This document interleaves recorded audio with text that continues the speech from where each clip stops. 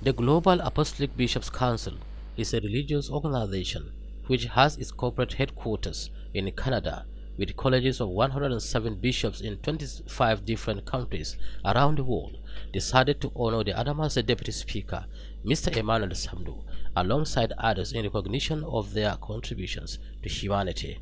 Bishop David Kings, who spoke on behalf of the prelate bishops in America, Canada, and Africa, described Mr. Emmanuel Tsamdu as a true leader who directly impacted positively on the lives of the downtrodden in the society, especially in the insurgents ravaged areas in the northern part of Adamawa State.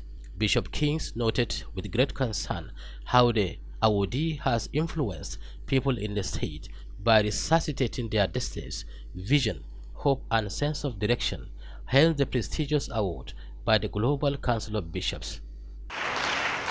He's a man that has laid down his life for his people. A teacher by profession,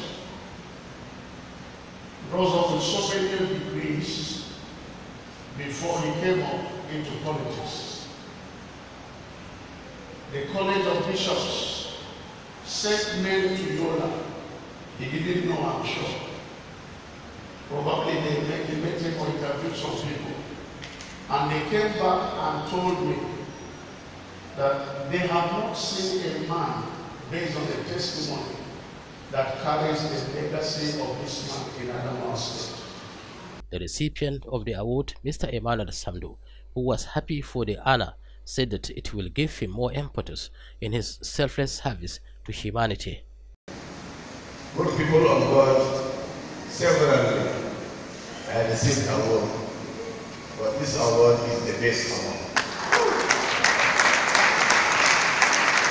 It's the spiritual leaders that sat and made their own findings about individuals' life.